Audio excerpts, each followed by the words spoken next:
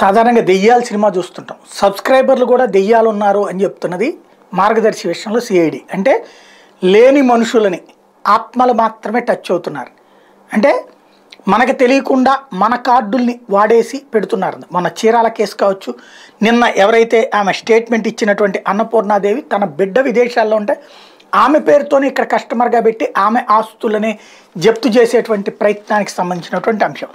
అయితే ఇక్కడ మార్గదర్శి చిట్ ఫండ్స్కి సంబంధించి ప్రత్యేక కోర్టుల ఉత్తర్వులు రద్దు చెయ్యండి అంటూ తాజాగా ఓ వాదన. అది ప్రభుత్వం చేస్తుంది.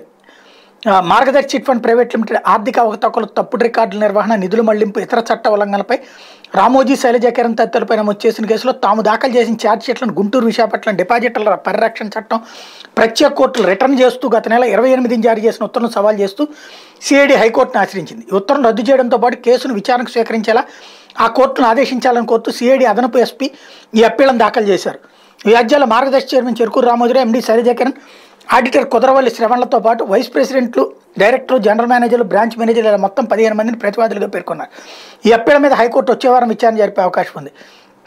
మార్గదర్శి చిట్ ఫండ్ ప్రైవేట్ లిమిటెడ్ ఆర్థిక అవకతవకలు తప్పుడు రికార్డుల నిర్వహణ నిధుల మళ్ళింపు ఇతర చట్ట ఉల్లంఘనలపై చిట్స్ అసిస్టెంట్ రిజిస్ట్రార్లు సిఐడికి ఫిర్యాదు చేశారు. ఈ ఫిర్యాదు ఆధారంగా రామోజీరావు శైలజకరణలతో పాటు మొత్తం పదిహేను మందిపై ఐపీసీ డిపాజిటర్ల పరిరక్షణ చట్టం చిట్ ఫండ్ చట్టాల కింద సిఐడి కేసులు నమోదు చేసింది. దర్యాప్తు చేసి డిపాజిటర్ల పరిరక్షణ చట్టం కింద ఏర్పాటైన ప్రత్యేక కోర్టులో ఛార్జ్షీట్లు దాఖలు చేసింది. ఈ ఛార్జ్షీట్లను పరిశీలించిన ప్రత్యేక కోర్టులు సిఐడి దాఖలు చేసిన ఛార్జ్షీట్లను రిటర్న్ చేశాయి. గుంటూరులో ప్రిన్సిపల్ జిల్లా జడ్జి ఉత్తర్వులు జారీ చేయగా విశాఖపట్నంలో మెట్రోపాలిటన్ సెషన్ జడ్జి ఉత్తర్వులు ఇచ్చారు. రెండు కోర్టులు కూడా ఆగస్టు ఇరవై ఎనిమిదో తేదీన ఉత్తర్వులు వెలువరించడం విశేషం. రెండు కోర్టులు ఇచ్చిన ఉత్తర్వులు దాదాపు ఒకే రకంగా ఉండటం గమనార్హం. అంటే కాపీ ఎవరో ఇచ్చిన దాన్ని వీళ్ళు సంతకాలు పెట్టారన్న కోణాన్ని ఇక్కడ హైకోర్టులో ఆక్షేపించింది.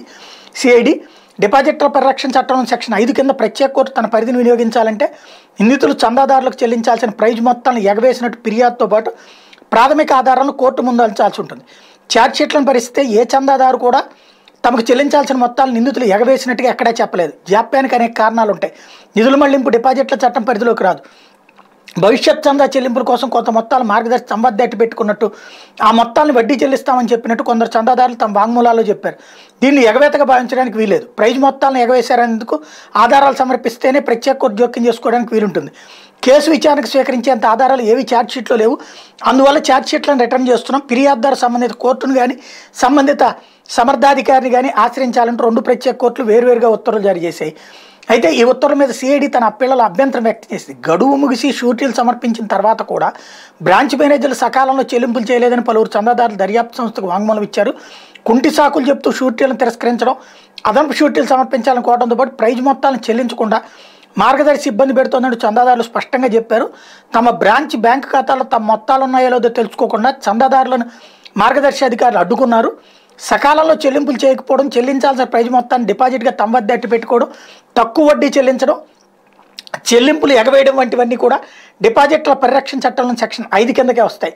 ఇన్ని ఉల్లంఘనలు స్పష్టంగా కనిపిస్తున్నా కూడా ప్రత్యేక కోర్టు మాత్రం వాటిని పట్టించుకోకుండా ప్రైజ్ మొత్తాలు ఎగవేత జరిగినట్టు కనిపించడం లేదని పేర్కొన్నాం. సరికాదు. చందాదారులకు చెల్లించాల్సిన ప్రైజ్ మనీ చెల్లించకుండా వడ్డీ చెల్లింపు పేరుతో తమ వద్ద అట్టి పెట్టుకోవడానికి ప్రధాన కారణం ఏంటంటే చెల్లింపులు చేయడానికి సరిపడినంత డబ్బు లేకపోవడమే.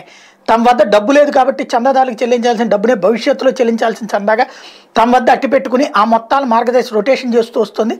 ప్రత్యేక ఖాతాల్లో చందాదారుల డబ్బు ఉంచాల్సి ఉన్నప్పటికీ అలా ఉంచకుండా దాన్ని ఇతర అవసరాలకు మళ్ళించేస్తుంది. ఈ విషయాలన్నింటి తగిన ఆధారాలతో ఛార్జ్షీట్లో స్పష్టంగా పేర్కొన్న పేర్కొన్నాం. ఛార్జ్షీట్లు రిటర్న్ చేస్తూ ఇచ్చిన ఉత్తర్వులో ప్రత్యేక కోర్టు పలు అంశాలు స్పష్టంగా నిర్ధారించాయి. స్పెషల్ పబ్లిక్ ప్రాసిక్యూటర్ వాదన వినకుండా అలా నిర్ధారించడం చట్టవిరుద్ధం అంటూ సిఐడి తన అప్పీల్లో పేర్కొంది.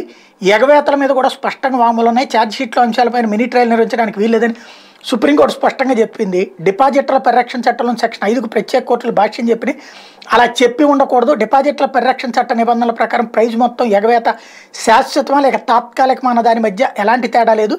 కేసును విచారణకు స్వీకరించకుండా ఆ అంశాల మధ్య తేడాలు లేవనెత్తడం సమంజసం కాదు. ఛార్జ్షీట్లను లోతుగా పరిశీలిస్తే మార్గదర్శి పాల్పడిన ఉల్లంఘనలు ఎగవేతపై చందాదారులు వాంగ్మూలాలు చాలా స్పష్టంగా ఉన్నాయి. డిపాజిట్ల పరిరక్షణ నిబంధనల ప్రకారం ఆర్థిక సంస్థ ఉల్లంఘనలు ఎగవేతలపై చందాదారుడే ఫిర్యాదుదారు అయి ఉండాల్సిన అవసరం లేదు. చందాదారులకు చెల్లించాల్సిన మొత్తాల ఎగవేత చెల్లింపుల్లో జాప్యం అంశాలను ప్రత్యేక కోర్టులు పరిగణలోకి తీసుకోలేదు. సీతంపేట బ్రాంచ్లో చందాదారులకు చెల్లింపులు చేయడానికి తగినంత మొత్తాలు లేవన్న విషయం ఛార్జ్షీట్లో స్పష్టంగా ఉంది. ప్రత్యేక కోర్టు విషయాన్ని పట్టించుకోలేదు. ఛార్జ్షీట్లో పేర్కొనమని ప్రాథమిక ఆధారాలు అయినప్పటికీ వాటిని సరైన దృష్టికోణంలో ప్రత్యేక కోర్టు చూడలేకపోయాయని సిఐడి తన అప్పీళ్ళలో పేర్కొంది. అంశాలన్నింటిని పరిగణలోకి తీసుకుని ఛార్జ్షీట్లను రిటర్న్ చేస్తూ ప్రత్యేక కోర్టులు జారీ చేసిన ఉత్తర్వులను రద్దు చేయాలని హైకోర్టు కోరింది. తదుపరి తమ కేసును విచారణ స్వీకరించేలా కూడా ప్రత్యేక కోర్టును ఆదేశించాలని కూడా అర్థించింది. కాబట్టి ఒక పక్కన గోష్టు సబ్స్క్రైబర్స్ రెండవది ఇది. ఈ రెండు కూడా రాబోయే రోజుల్లో కీలకం కాబోతున్నాయి.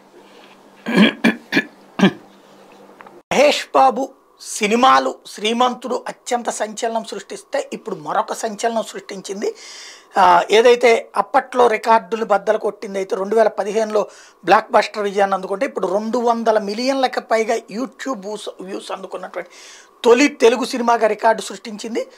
దాదాపు ఈ చిత్రాన్ని రెండు వందల సంబంధించినటువంటి రెండు వందల మిలియన్లకు సంబంధించినటువంటి యూజర్లే కాకుండా రెండు వందల మిలియన్ల నలభై ఒక్క వేల ఏడు వందల యాభై మంది తో పాటుగా ఎనిమిది లక్షల ముప్పై నాలుగు వేల మంది లైక్ చేయడంతో మహేష్ బాబు అభిమానులు ఇది వాస్తవంగా రెండు వేల పదిహేడులో అనుకుంటా. వీళ్ళు దాన్ని శ్రీమంతుడిని యూట్యూబ్లో కంప్లీట్ సినిమాని అప్లోడ్ చేశారు. అది కాస్త ఇప్పుడు రికార్డు సాధించడం. అది కూడా రెండు వందల మిలియన్లు అంటే ఆషామాషి కాదు.